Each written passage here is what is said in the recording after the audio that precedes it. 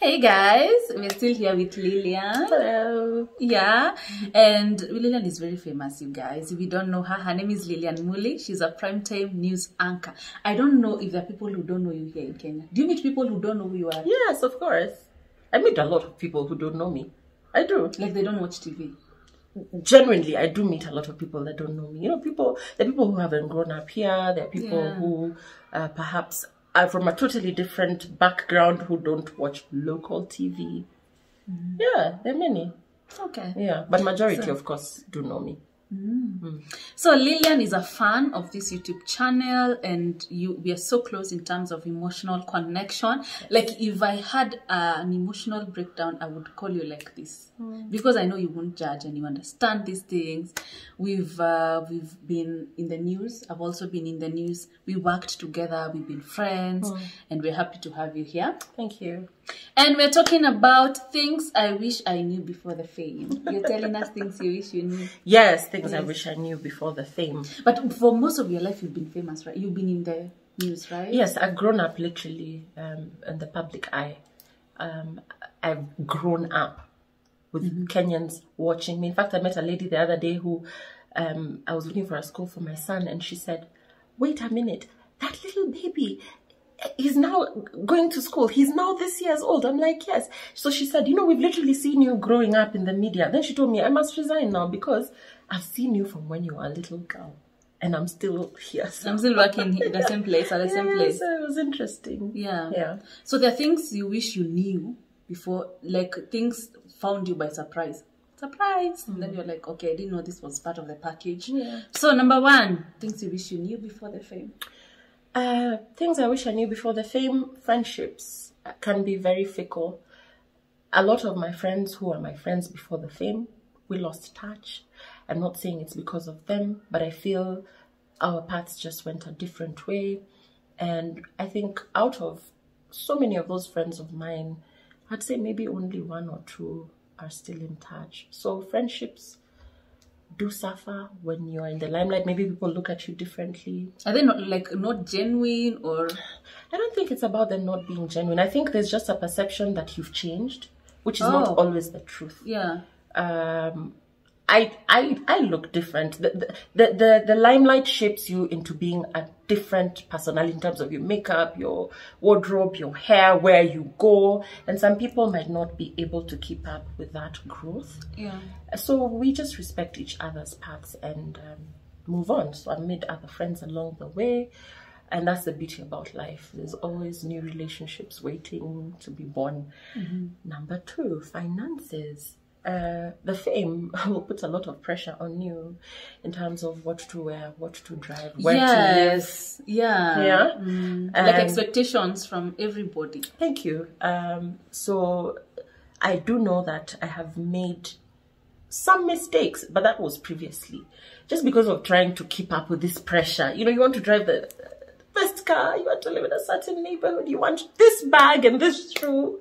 It's so expensive. So for people who are coming into the industry or perhaps who are there, I'm sure most of them can relate. It can be a bit expensive.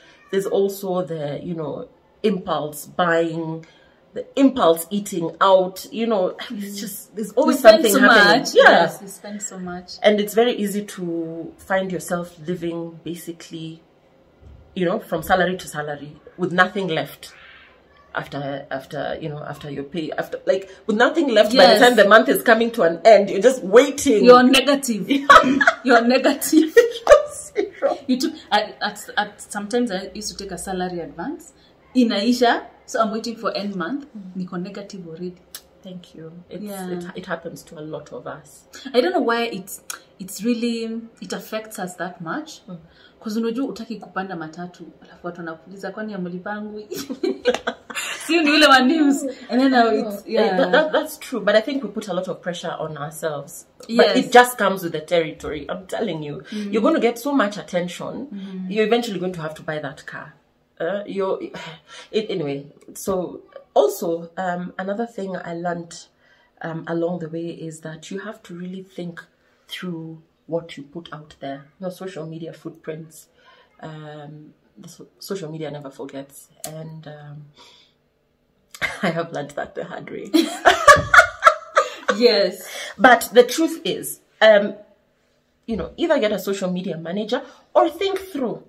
Just think through your content and what you put out there. Right now, I'm unapologetic about what I put out there because I don't put anything out there that I feel is going to um, come back to bite me somewhere. I don't put things out there that I don't think through. But previously, you know, you, you know, you know what I mean. So, Yeah. what are some of the statements you put out here and then you regretted or you felt? You called me. You called me after my most notorious statement, Muthoni. Mm-hmm. I mean, I got, and this was, this was the lowest, lowest point of my life. I even get balancing tears when I think about it because it was bad. Somebody had hurt me so bad. I felt like I could literally throw up and my heart would come out. I was so, I was in so much pain and I was very fragile because I had just had my baby. And for those of you who have had babies, postnatal issues, and it's not necessarily depression, they're just blues that come after you have a baby. It's a totally different world. So you hear you have a baby, things are going on, and I put something out there, and those Yeah. are some of the things that I say. No matter what it is somebody has done to you, because I know people do hurt us and we hurt people back, please think through your reactions. Lock yourself in a room, cry, cry, cry, cry. But please be very careful about what you put out there. Because once you're famous, it will keep being replayed and replayed and replayed and replayed and replayed and will be like a tick on your back. Mm-hmm. it's it's good you've you've addressed this because I saw it and I was like, okay, you know, like actually I saw it on the blogs, mm. the community thing, the Yeah. community husband statement. And I was like, okay, something is not right, and I reached out to you. Yes. But it's a good thing you've spoken about it now, mm-hmm. because there's a time we were talking with you the other day, and you said we don't have a right of reply. Yeah. People said things about you. Uh-huh. People called called you names, Yeah. but you didn't have a chance to to talk about it. I didn't have a chance to talk about it. However, um, I'm also not proud of it. Like I said, I don't need to be here to prove anybody wrong or to explain myself to anybody. It is unfortunate. Just with the fame as well, you don't have a right of reply. Nobody, everybody has an opinion. So whoever decided what they wanted to decide, decided, and they ran with it. And I just, you know, embraced it, and because I knew my truth, Yeah, I'm at yeah. peace with that. Mm-hmm. Yeah. Okay. I would love to be in love with somebody that I can post and that I can put on my Instagram and say, Aki, the moment you post, hey, ask me. uh-huh. here's the thing. I, and you know, this is debatable. Um, I, in a just world, we would happily post our boyfriends and be happy and but I just feel like social media relationships are very dicey in terms of their growth and I mean once in a while yes but not every detail Yeah, of all the time. life Yeah. not where you've had breakfast, where you've had lunch, where you've gone on holiday, what you're doing, what you're doing. You and, and you know, because you're famous, because I'm famous, I feel like I am also doing this person an injustice because I'm thrusting them into my world. And maybe if we haven't had a conversation about this, they're not comfortable. Um, there's a guy I was dating um, who I posted once, I think once or twice or three times. And believe it or not, he told me either I'm very handsome or I don't know what's happening because everywhere I go nowadays, babes, babes Yeah. like, hi, how you? Your Lillian's or whatever. Your Lillian. So I just yeah. So for me, I protect my relationships. If I'm in a relationship with somebody, it's highly unlikely that uh, it will be everybody's business. It will be our business. And that is something I've learned the hard way. And that goes back to also me, just like what I said, social media footprints. So if you're dating somebody today and you're very in love and you want to let them know, then don't tell them when you break up.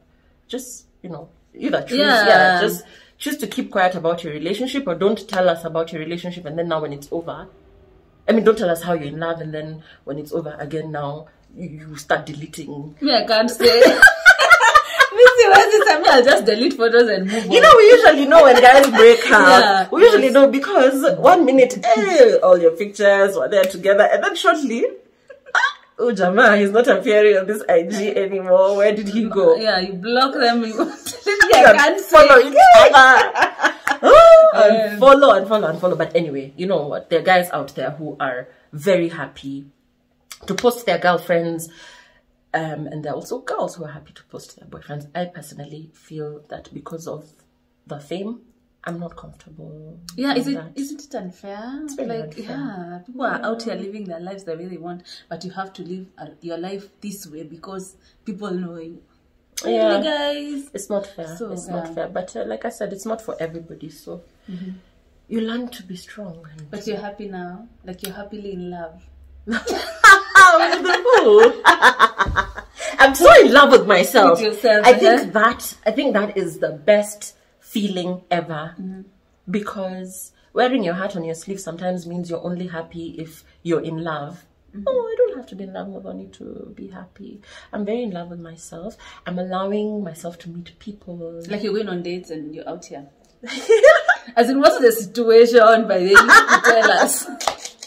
I take myself out on dates and I go on, out on dates with my girlfriends or guys that are my friends. Mm, am I? Am I? But you're outgoing. I like that about you. Like we hang out a lot. I like I like being in I like I like I like being in good company. Yes, I enjoy good company. Okay. So would you would you like to get married someday? Is it No. something? No. No, no, no, no. Um, I am not in that space. I always say I would love a partner that we will age with together, that we will live with together. Somebody who has perhaps had similar experiences or a similar experience with mine. But you know, I'm I'm so done with um, the societal norm that expects everybody to sort of fit into that union and happily so. For me, I've done it, and for my own reasons, I chose to walk away. And of course, as a woman, you get judged a lot when you make those decisions, but it was for my mental health and my spiritual health and for my safety as well. So, do I want to ever get married again? No. I don't I don't see myself married again, but hmm. I I want to have a partner that um, is my partner that I can refer to as my partner. But wedding vows, yeah. You want a partner like for life? A partner for life, like- somebody that has shared similar experiences with mine, um, somebody who um, comes into my space, um, you know, on the same playing field in terms of the value we're bringing into each other's lives. Somebody who doesn't have expectations that I'm going to have babies or I'm going to. You don't have to have babies. No, no, no, no. So you don't mind someone who has their children? I don't mind somebody who has their children. Yeah. I don't mind somebody who is perhaps um, coming out of a separation, Mm-hmm. but um, of course with no baggage. Is there anybody who comes out of a separation with no no baggage? Okay, I need to look at that. bit. Who's worked on themselves? who's worked on themselves Mm-hmm. and who is actually very open about that bit. Um, and then also somebody who Mwenye hana baby mama drama. mtu mwenye hana sijui Ab- ufather abraham eh, eh, we're not doing that Eh. no hey, father abraham and then they're still caught up in that baby mama drama no Yeah. Okay. Ah, yeah. Something else you've learned. my family is very delicate and they mean the, the, the, the most important thing to me.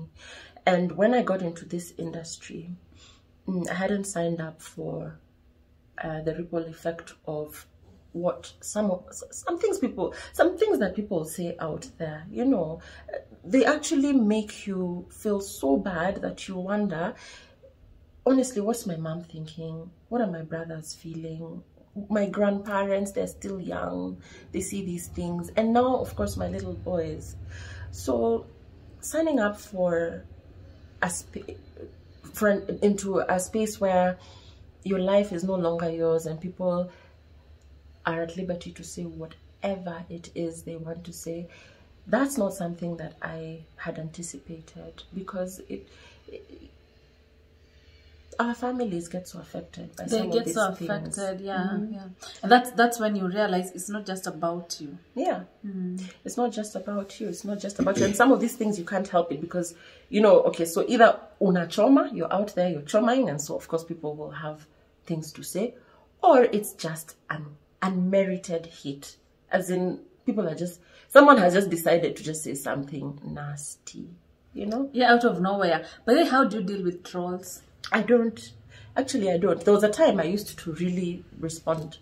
I don't see those things anymore. I think I see, you know, see no evil, hear no evil. So either they've reduced, and by the way, I'm not on Facebook. I'm not on Facebook at all. So Facebook is the sometimes. I see some things that people write on Facebook purportedly on my page, Yeah. and I'm like, that's not me. So nyinyi sijui ni nani mnatukana huko by the way because I'm not it's not you it's just It's photos like that. yeah there- there's someone I don't know who these people are, and I think they're like five.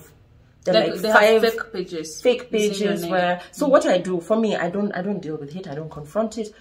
If somebody like on my Instagram writes something nasty, I just block them and delete the comment. I don't I don't engage. I don't I just have no I'm not in that space. I have no time for that Yeah. negative energy anymore. And you know most of the time even the people who hate on you don't have the courage to hate as themselves. They open proxy accounts yeah to hate. So why would you engage with a ghost? yeah Yeah, yeah. I mean, because see, if you're tukaning me, just do it as you. Mm-hmm. Let's meet man to man. woman man to man, Woman guys, to woman. But now those are usually proxies, so you Yeah. can't respond to that. No, I don't engage with trolls. like do you enjoy being famous because a lot of people who are not people who are not famous want to be famous Mm-hmm. do you like being famous Fame is nice, but I feel like it has a shelf life. I feel, I feel like when you're younger and uh, when you don't have much. Okay, nobody doesn't have a lot to lose, but when you're younger, you're carefree. Um, perhaps um, you have less responsibilities. Um, fame is nice. It comes with its perks. There's a lot I've achieved because of the fame, but of course, there are times when I just wish um, things could be different. Could live a more quiet life. Um, just make your money in silence yes, or, yeah yes, yes. It mm-hmm. gets exhausting. It does get it does get exhausting. Mm-hmm. Um, it, it, feels so nice sometimes when I travel, and I'm just there, and I'm I'm just you know I'm just in that space where. I'm not self-conscious cares. and nobody cares, you know. Mm-hmm. So fame is nice, of course. I mean, who who wouldn't want to be famous? But I know a lot of people as well who also uh, just prefer a more quiet life, and I think that's where I am now. I'm just leaning more towards a quieter. you used to like it back then but now you feel like I'm managing it better. I'm managing it better. Um, I don't. I don't have to say yes to everything. I don't have to be available for everything, um, because at the rate things go when you're in this space, Monday to Sunday, will find you doing something, being somewhere, uh, showing up for this, doing that. So yeah, I'm just managing it better. Yeah, I'm I'm doing more of me and what aligns with my spirit. If I feel like chilling, I spend a lot of time in my bedroom nowadays. By the way, I was telling you. yeah I feel like just chilling and having my quiet time. Because you're an I'm going to introvert. I am. you yes. also read read gave me a book Yes, I read. Mm, I, I exactly. loved. I love to read. I love to read. I love self-help books. Mm-hmm. Yeah. So for those ladies who are out here sending notes all over and trying to be famous, Miss Kia. like sometimes you really want something and then when you get there you realize okay I've gotten it but then there's this other side to it that I also have to deal with. Yeah, that's Yeah. true. Um, so everything comes with a price. So if the price is too high, then think twice. I, I also think uh, our relationships are very affected when you're in, in the public figure because like me in my in my current relationship i had to tell the guy like when we were there like we call it the declaration making a declaration in your mind yes like that time mm-hmm. i had to tell him mm-hmm. people are gonna write things about me. People are mm-hmm. gonna say i'm dating so and so so and so. Yes. but don't listen to them. That's just the know thing. me for yourself. But how many people are you you you found a special thing? How many people would be able to actually you know that that there are people who are not cut out for the type of thing of, of, of, of scrutiny that comes with dating a famous person. Yeah. So there are guys who are not gonna be able to To handle it. To handle it. Yeah. gonna be like, hey me, I just want a like a simple babe. I don't want a babe who everyone is talking about. Uh, sawa, it's been real. Yeah. yeah true so tukimalizia Yeah. So um, I think this this whole conversation we had was about fame, who I am, how it's morphed, how I morphed into who I am today, my relationships, who I am, what I've learned along the way. At the end of the day, I think um, my truth is that I am unapologetically who I am. So I've made mistakes, I've learned from them, and now I'm leaning towards really special relationships with people who get me and who take me as I am, irrespective of the voices out there, uh, irrespective of what has been said, what has happened. I'm just in a very clean space and I'm coming to people with the same warmth that I want projected towards me. So thank you for having me, Muthoni. It's been fantastic and I love your channel. Oh, thank you so much. And thank you for the support, even for doing this, because I was like, hey, we can do something on my YouTube channel. You were like, yes, I want to do it. and you drove all the way, na hii traffic ya Mombasa Road. So thank you so much. Thank you. Mm. So thank you guys for watching. Let's meet down at the comment section. Also, don't forget to subscribe. Bye.